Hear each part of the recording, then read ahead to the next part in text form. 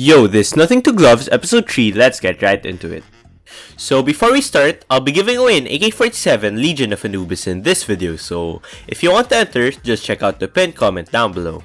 So the first trade up will be a restricted StatTrak glove trade up, in where you'll be using 10 StatTrak Minimal Wear glove skins.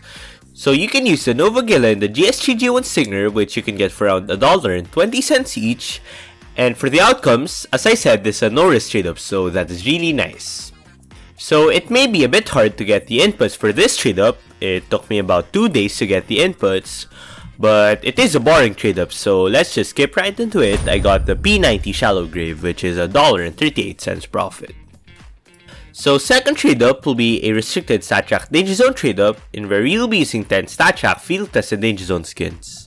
So for this trade up, you can use the Mac 10 Pipe Down and the G3SG1 Scavenger, which you can get for around 81 cents each, and the total cost will be around $8.15 each. And for the outcomes, this is another no risk trade up, but the one thing that we do want to get will be the Deagle, since that will be a $4 profit, and the rest of the outcomes will be around a 60 cents profit.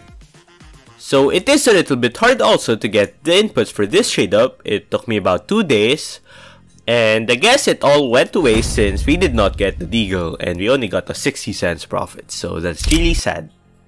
Are you sick and tired of your terrible skins and want good skins like this in here? Then make sure to check out Skins Monkey. Skins Monkey is a site where you can trade your terrible skins for good skins instantly. So you can also buy these skins where you can get a 35% bonus on your deposits. So Skins Monkey is also giving you guys a free $5 on your first trade and all you have to do is put in my code ELSU. So make sure to check out Skins Monkey, link will be in the description.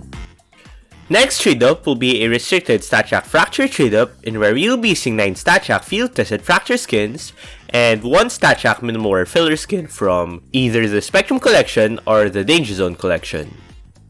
So everything you need should be seen in here, just keep in mind that the average float needs to be less than 0.20 and the total cost will be around 90 cents and for the outcomes, we really only have a 6% chance to lose any money on this trade up, so you can consider it a no risk trade up. So this trade up is a lot easier to get. I only got the inputs in about half a day in searching the Steam market, so that's really nice. So first trade up, we are using a Spectrum skin, and we got the XM Entombed, which is the worst fracture outcome we could have gotten. And for the second trade up, we are using Danger Zone skins, and we got another XM Entombed, which is quite unlucky. So since this video has been very boring so far, I decided to go with the riskier trade up for the last trade up. So this will be a trade up for the M4A1 Nightmare, in where we will be using 6 Minimal Wear Horizon skins and 4 Factory New Clutch skins. And the average float needs to be less than 0.07, and the total cost will be around $11.70. And for the outcomes, we get a $17 profit with the M4A1, then a loss with everything else. So for the first trade up, we got the Sawed-Off Devourer, which is not really ideal since we did not get the M4A1, but at least it is not one of the clutch outcomes. And for the second trade up, we got the AWP Mortis, which is a really bad outcome. So for this video, we ended up really unlucky with the last trade up, so we got a loss of $6.98. So that now puts our total to $11.98, so we got a really big loss in this episode, but hopefully we can recover in our next few episodes. So if you would like to see me trade up from nothing to a knife, make sure to check out this video. Otherwise, peace out guys.